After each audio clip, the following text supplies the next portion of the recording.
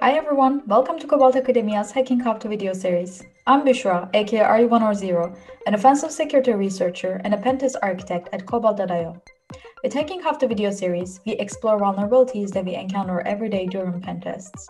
In this specific video, we will see how to exploit OWASP ASPS v2 authentication attacks by different scenarios. If you're ready, let's jump in.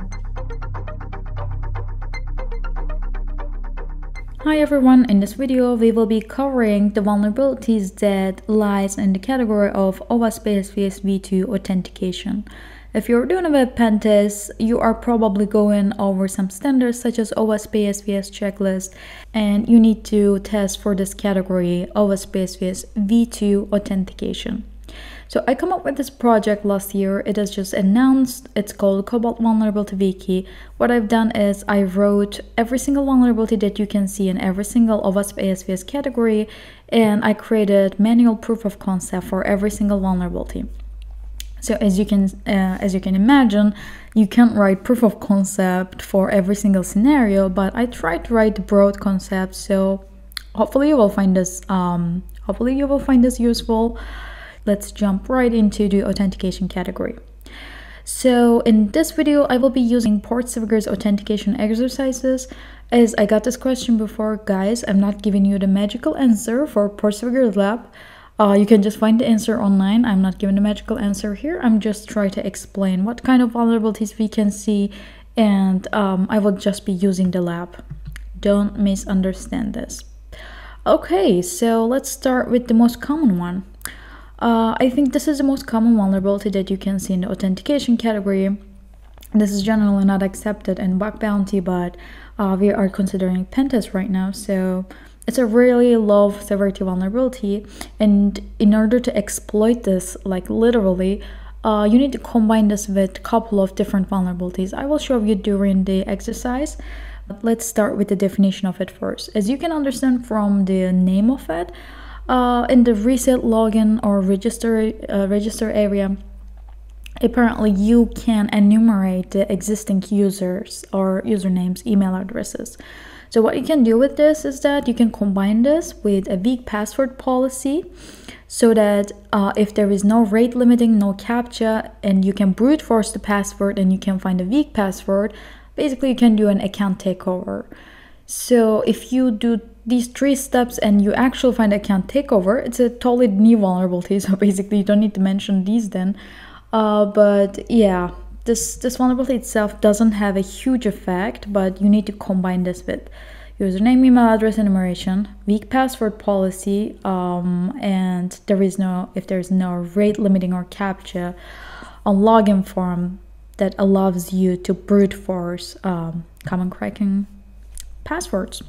So as you can see, we already combined four vulnerabilities. Anyway, enough of the chit chat.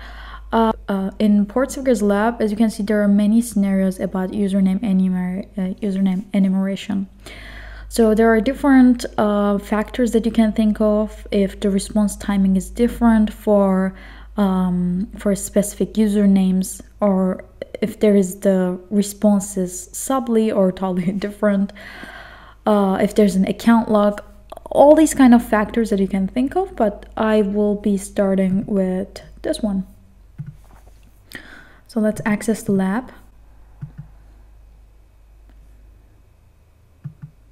As you can see, there are candidate usernames and passwords. I mean, I know this is like crazy easy vulnerability to find, but I will just include this. I'll just write random names, whatever. I will say login. As you can see, this is the indicator that username, email address, enumeration is possible because it says invalid username. So I'm going to burp. Um, all right, interesting. So I will be sending this intruder. First, we will be enumerating the usernames. I will be selecting this area in burp intruder and for the payloads I will be writing all the usernames that you can see in here. I will be copying these and pasting here. We are starting the tag. We will be getting a different length here, as you can see, uh, for the response because it says, let's see, incorrect password, while for the other ones, it is saying invalid username. So let's see what, what was the username here. It is puppet. Nice. So I am closing this area. I'm clearing the positions and changing the username as puppet. You understand the uh, what I'm doing in here apparently. I'm adding the password field, um, clearing the payload and going back to uh, password field and copying all these, pasting them here, starting the attack. We will be checking for um, status code now because it gives 302. It sends a redirect to the um, to the user account. So that's a pretty cool but super easy exercise. Okay, let's see what kind of other common vulnerabilities that we can see in this category. So the second most common vulnerability is bypassing two-factor authentication. Uh, I think I need to have this in here. Yeah, two-factor authentication bypass. I write a couple of scenarios here, but like I said, this is a broad concept. You can just put every single scenario in a proof of concept. I just tried my best. So let's let's just pick an exercise here. They're all pretty cool, but they're not super hard. You can of course try it yourself to um, increase your knowledge. Like if you are missing a point during pen tests, uh, when you're doing two-factor authentication bypass, this this is a great exercise series to um, to refresh your knowledge. Um, I will just choose one of them. Let's go with this one. It's like super easy. Um, it says it's a broken logic. Um, let's see, let's access the lab. Let's try to understand uh, what kind of mechanism we see here. Um, let fire a burp. I always forget this. So the username is Wiener and password is Peter. So let's see what's going on. There's an email client. Um, and it asks for four digits code, uh, code and it also sends us the login to our endpoint. On proxy, as you can see, there is this login to page. And as you can see in the cookie value for verify, it's basically given us the username. So this is the broken logic. What I'm doing is I will be sending this to repeater. You see this uh, post request with login so let's intercept on and write the invalid value here, one, two, three, four, login. So we intercept the value and I will just be changing this to Carla. So we need to basically uh, brute force this value. I'm sending this intruder. Let's clear these values and add this one. For payloads, I will be writing numbers.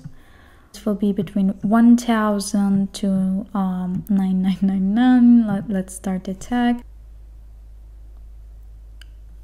So when you wait enough um, there will be a status 302 returning and you will just follow this to go to the account of Carlos.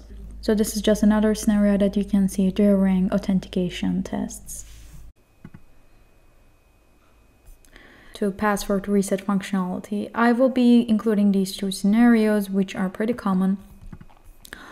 So the first one is password reset broken logic. I accessed the lab here already. So what I will be doing is I will be going to forget password. Oops, burp is not on again. Yeah, I have a really bad habit to forgetting this. So I I am gonna write the username that I am aware of the password of. I'm sending um, username is Wiener and I'm going to email client. Apparently I have access to the email client. So as you can see, it sends us um, um, a URL. So I am reaching this out. I, uh, I will just be writing the new password as pass. I'm sending this and let's check it out what's going on with burp. As you can see there is this post request have been sent with the password token in the url and also in the body here. So username is hidden in here with a value and new password can be sent here. So when I send this to repeater and remove the password token from both the URL and also from the body and change the password to pass to, let's see what's happening. It sends us a 302 and I think we just changed the password. So basically we can just remove the token and it still works. Winner pass 2 is just working. That's perfect. Now I have a new idea to, uh, to, to do the account takeover on Carlos's account. So what I will be doing is I will be going to um, forget password. First, I will be writing winner, submit this, go to email client. As you can see, new URL has been sent. I will be intercepting on so that I can play around a bit. I will be opening this one. As you can see, password token here, send this, and it will give us the field of new password. Okay, I'll be just writing pass again, submit this. So voila, I will be removing the password token, um, writing the username as Carlos so that I can take um, the account, take over the account of Carlos and I will be writing the new password is solved. I will be sending this uh, I can intercept. Off again and now I will be logging with Carlos's account with the password solved which solves the exercise. Super easy exercise but um, I think this is a pretty common one. Um, okay we removed these and I will be continuing with the following exercise. Yeah there's a certificate problem with verb I'm super lazy to solve it, so yeah. So there is a password reset poisoning. Um, yeah, this is this is a common exercise, um, common vulnerability that I saw multiple times during pen tests. I don't know about you, but I saw I saw quite a lot of this vulnerability. So I will be going to forget password functionality. Uh, the account that I will try to take over is Carlos. I will be intercepting on again. I'm submitting this. Um,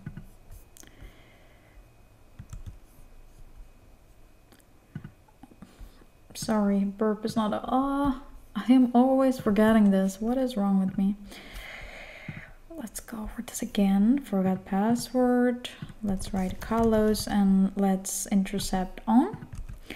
I will be submitting this. What I will write is I will be trying the headers like x forwarded for x forwarded host.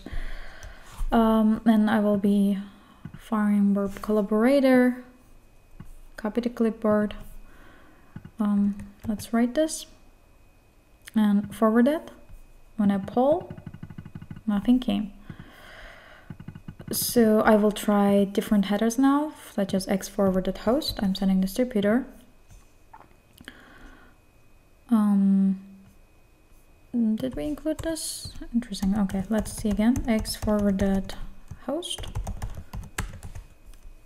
Send this. Paul now. Yeah, we got an HTTP request with um, password reset token. That's super cool.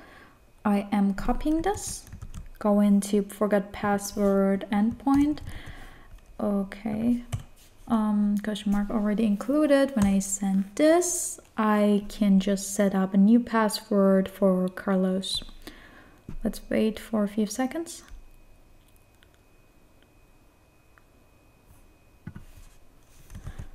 Uh sorry guys i forgot intercept on. I don't know why i'm doing this. Yeah. Let's set it as solved and log in with Carlos's account with a new password. Result exercise, super common exercise, super common vulnerability that you can see during password reset. So let's go over what we saw in this category. While you are doing pen test for authentication category, uh, one vulnerability that you should be looking for um, should be username, email address enumeration. It's a really low severity vulnerability but can be combined with further attacks. As you can see, there are different factors like IP block, response timing, different responses um, while doing username, email address enumeration. So the second thing that lies in this category is rate limiting. If there's no rate limiting, you can uh, do brute force attacks. You can check for login page, registration page, reset password, or any other forms um, and this is another vulnerability that you can see then there is another common one two-factor authentication bypasses there are different um, different attack types I just included one or two scenarios here, but the other ones are quite similar and easy. I'm not going to include all of them. Uh, of course, online password cracking goes here also, brute forcing goes here also. I included this in the first scenario that I showed, and password reset logic issues also lie in this category. Hope you enjoyed this video. Stay tuned for more content. Cheers! Thank you for watching my videos. Stay tuned for more content. Cheers!